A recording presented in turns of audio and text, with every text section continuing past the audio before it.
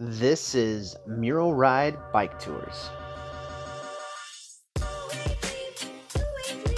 We've been operating in downtown San Antonio since 2015. Our guests come from all over San Antonio, United States, and across the world.